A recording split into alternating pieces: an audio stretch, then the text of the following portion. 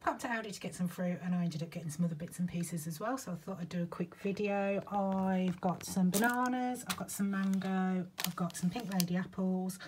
quite craving fruit at the moment so I've got some fruit cocktail in juice. If you drain the juice that's zero points. I've got peaches in juice again if you drain the juice it's zero points for those.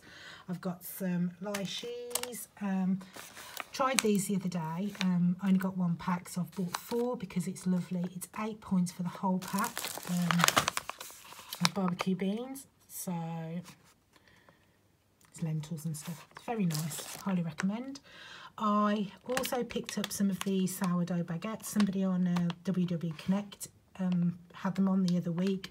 They are nine points for the whole baguette which is brilliant. And I'm sure last time I did it, I weighed it and it was eight points for the whole baguette. So it's even better. Don't know if I've said bacon already. So that's my Aldi one. But I've also picked up some of these and quite a few people have asked where I've got them from. I found a peach one today. I'm really excited about that one.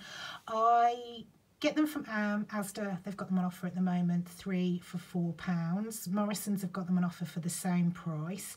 You can get them from Iceland, but they seem to only have the two flavours in, which is the chocolate pieces one and the raspberry. I know Tesco's have got them in as well and Sainsbury's, so you can pretty much pick them up from any supermarket. So they're the Lindahls. So thank you for tuning in. Goodbye.